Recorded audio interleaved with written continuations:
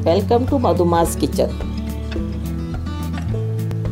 आज मैं बनाने वाली हूँ पानी पूरी की रेसिपी तो इसके लिए पानी बनाने के लिए जो भी चाहिए होगा, पुदीना पानी पूरी मसाला, नींबू ब्लैक सॉल्ट काला नमक, हरी मिर्च, सफ़ेद नमक। अभी मैं मिक्सी में इसका पेस्ट बनाने वाली हूँ। तो पुदीना के पत्ते को मिक्सी के जार में डालिए। और हरी मिर्च, जो भी आपको स्वाद अनुसार चाहिए होगा, ज़्यादा तीखा, कम तीखा इस हिसाब से आप अपने हिसाब से डाल सकते हैं। नमक भी आप अपने स्वाद अनुसार डालिए, उसको मैंने पीस लिया। अभी दो लीटर पानी मैंने डाला। उसमें मैं पूरा एक पैकेट पानी पूरी मसाला डाल दिया। चाट मसाला भी यहाँ आप डाल सकते हो, जैसी आपकी इच्छा हो। तो मैंने जो पुदीना और हरी मिर्च का जो पेस्ट बनाया था, वो भी मैंने डाल दिया। थोड़ा जार में थोड़ा सा पानी डाल के उसको धो के भी आप डाल दीजिए उसमें। और ब्लैक सॉल्ट काला नमक, सफ़ेद सादा नमक। यहाँ पे आप वाइट बूंदी भी डाल सकते हो, खारी बूंदी। नींबू का रस। जैसे आपको खट्टा ज़्यादा पसंद हो तो आप ज़्यादा डालिए, कम पसंद हो तो आप कम डालिए। अच्छे से मिक्स करके रेडी हो गया पानी पूरी का पानी। अब मैं बनाने वाली हूँ इमली की चटनी, उसके लिए चाहिए होगा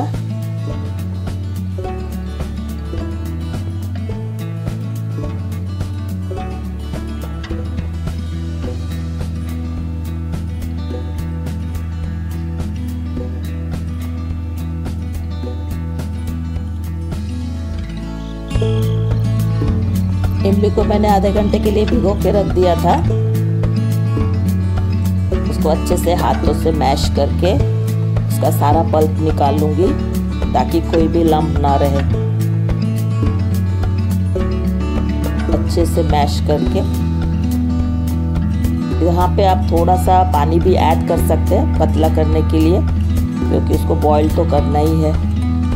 गैस पे मीडियम आँच पे इमली को बॉईल करेंगे। उसमें आप अपने, जैसे मैंने 100 ग्राम लिया तो 250 के आसपास मैंने गुड़ डाला। तो आप अपने हिसाब से मीठा कम या ज़्यादा कर सकते हैं। किसी किसी को बहुत ज़्यादा मीठा पसंद होता है तो वो ज़्यादा गुड़ भी डाल सकते हैं। यहाँ पे मैं एक चम्मच चिली पाउडर एक चम्मच सॉल्ट नमक आप स्वाद अनुसार दे सकते हैं कम या ज़्यादा कर सकते आप। काला नमक, एक चम्मच। जिंजर पाउडर और भुना हुआ जीरा पाउडर। सब एक एक चम्मच, आप अपने टेस्ट के अनुसार कम या ज़्यादा कर सकते हैं। अच्छे से पंद्रह मिनट के लिए आप धीमी आँच पे उसको पकने दें। यहाँ पे आप खजूर भी डाल डाल सकते हैं। अब वाइट बटर वाइट मटर के लिए चाहिए होगा।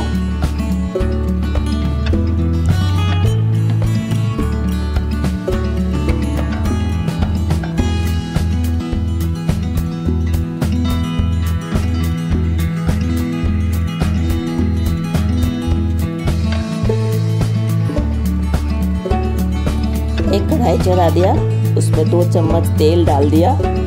तेल को अच्छे से गर्म होने देंगे। फिर उसमें होल गरम मसाला को थोड़ा दरदरा कूट के, जिसमें इलायची और लौंग है, दालचीनी को तो ऐसे ही डाल देंगे। फिर गरम मसाला तरकने लगे तो उसमें प्याज डाल देंगे। प्याज को अच्छा सुनहरा होने तक, गोल्डन ब्राउन होने तक भूनना है। गोल्डन ब्राउन हो चुका है मेरा प्याज। अब मैं इसमें बारीक कटा हुआ टमाटर डाल दिया।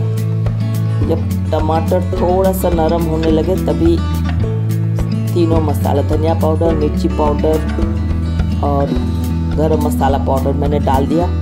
थोड़ा सा पानी ऐड किया और 15 मिनट के लिए ढक दिया। इधर मेरा वाइट चना बॉईल कर लिया था। मैंने रात को ही भिगो के रख दिया था। उसको एक सीटी लगाया, फिर धीमी आँच पे पंद्रह मिनट के लिए मैंने उसको बॉईल किया था।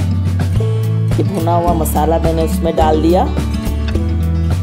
थोड़ा सा गर्म पानी डाल के कढ़ाई में उसको भी मैं वाइट मटर में मिक्स कर दूँगी। ऊपर से मैं भुना हुआ जीरा पाउडर डाल दिया। वाइट मटर इज़ रेडी अब मैं बनाऊँगी मैश पोटैटो उसके लिए मैंने उबला हुआ आलू ले लिया, उसको अच्छे से मैश कर दिया। अब इसमें मैं थोड़ा धनिया की पत्ती, आप टेस्ट अनुसार कम या ज़्यादा कर सकते हैं। एक चम्मच भर के चाट मसाला। यहाँ पे आप लाल मिर्च पाउडर भी डाल सकते हैं, जैसे आपकी इच्छा। नमक स्वाद अनुसार, ये मैंने काला चना पहले से ही बॉईल करके रखा था। और ये आलू मैश तो बहुत लोग दोनों को मिक्स करके खाते हैं। तो ये हो गया पूरा पानी पूरी का मसाला रेडी पानी पूरी इस रेडी आप अपने हिसाब से कभी आलू डालिए, कभी ब्लैक चना, कभी वाइट मटर, इमली की चटनी और जलजीरा, पानी। और आप आनंद लीजिए आलू पूरी का